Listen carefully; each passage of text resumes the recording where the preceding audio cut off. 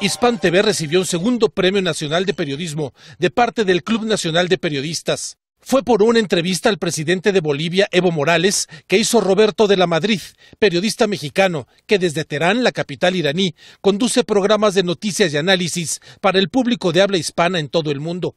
En poco más de cinco años, Hispan TV ha logrado posicionarse como una alternativa seria en el mundo de la información.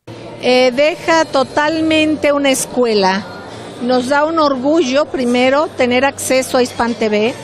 Agradecemos a Roberto de la Madrid, que ha sido un contacto para con México, para sentir muy cercano a Hispan TV, para conocer su extraordinaria, eh, eh, toda su programación eh, y en este caso una entrevista que va mucho más allá de lo tradicional. Roberto de la Madrid conduce desde los estudios en Terán el programa Detrás de la Razón, donde trata temas desde ángulos no abordados o simplemente ignorados por otros medios. La entrevista con Evo Morales, por la que recibe el Premio Nacional de Periodismo 2015-2016, deja varias reflexiones. Así lo narra Roberto de la Madrid. Es labor de nosotros los periodistas difundir que no solo el problema son los políticos, sino que el problema es el pueblo.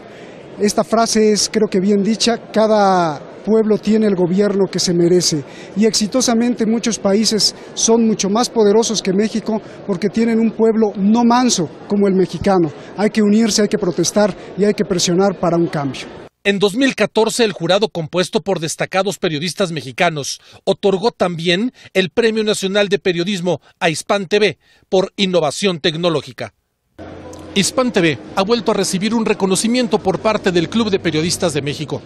Esto es otra muestra de que esta cadena internacional de noticias ofrece un contenido fresco y diferente que le hacía falta al mundo de la información. Arturo Calvillo, Hispan TV, Ciudad de México.